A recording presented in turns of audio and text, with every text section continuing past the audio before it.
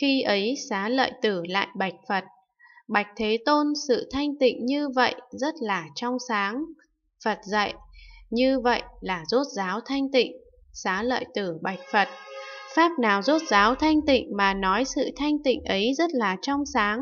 Phật dạy, này xá lợi tử, vì bát nhã ba la mật đa rút giáo thanh tịnh nên nói sự thanh tịnh ấy rất là trong sáng.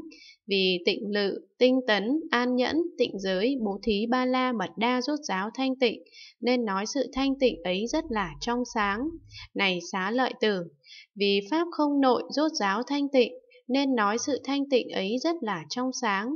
Vì Pháp không ngoại, Pháp không nội ngoại, Pháp không không, Pháp không lớn, Pháp không thắng nghĩa, Pháp không hữu vi, Pháp không vô vi, Pháp không rốt giáo, Pháp không không biên giới, Pháp không tản mạn, Pháp không không đổi khác, Pháp không bản tánh, Pháp không tự tướng, Pháp không cộng tướng, Pháp không tất cả Pháp, Pháp không chẳng thể nắm bắt được, Pháp không không tánh, Pháp không tự tánh, Pháp không không tánh tự tánh rốt giáo thanh tịnh, nên nói sự thanh tịnh ấy rất là trong sáng.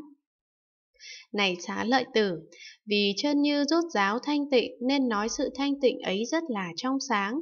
Vì pháp giới, pháp tánh, tánh chẳng hư vọng, tánh chẳng nổi khác, tánh bình đẳng, tánh ly sanh, định pháp, trụ pháp, thật tế, cảnh giới hư không, cảnh giới bất tư nghỉ rốt giáo thanh tịnh, nên nói sự thanh tịnh ấy rất là trong sáng. Này xá lợi tử, vì thánh đế khổ rốt giáo thanh tịnh, nên nói sự thanh tịnh ấy rất là trong sáng. Vì Thánh Đế tập diệt đạo rốt giáo thanh tịnh, nên nói sự thanh tịnh ấy rất là trong sáng.